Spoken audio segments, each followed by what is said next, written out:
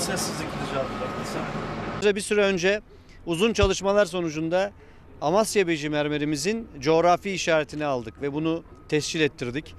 Ee, Amasya Beji mermerimiz hem ülke içinde hem ülke dışında çok farklı ülkelerde ciddi ilgi gören tüketicilerden, bu sektördekilerden ciddi ilgi gören bir ürün.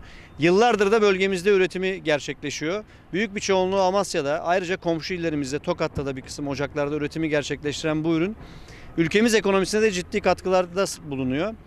50 kadar ülkeye ihraç edilen bu ürünümüzün yıllık bizim tabi sanayicilerimizden aldığımız verilerle farklı illerden ihracatları gerçekleştirmek üzere 50 milyon dolar civarında ihracatı var, ihracatı mevcut.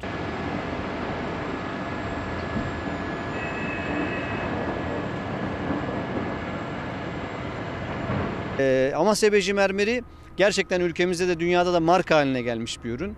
Ee, bunun hem sanayiye kazandırılmasında uzun yıllardır gösterilen bir çaba var. Ee, hem de bugün prestijli bir ürün olarak tüm dünyada, tüm pazarlarda e, sunulması, tüketicilere sunulması anlamında e, çok büyük çaba gösterilen bu ürün, bir ürün. Ee, Bu ürünün coğrafi işaretini alarak bunun bir takım hukuki haklarını korumak anlamında, ticari değerini artırmak anlamında da çok önemli bir adım atılmış olduğunu düşünüyorum.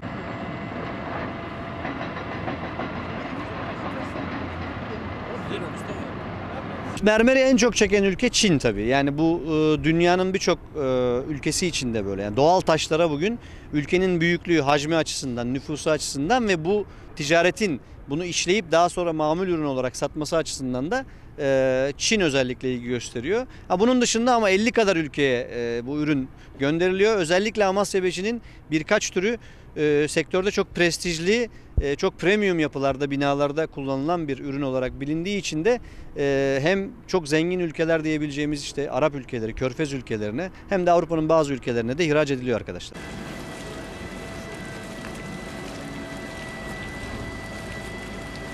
Bakınca gaz falan bilmem bir şey ya abi. Kibrit tabii bilmeyen, bilmiyorsan kibrit bir makineye bağlıyoruz. Tel hızlı şekilde dönerken sürtünmeyle taşı eritiyor.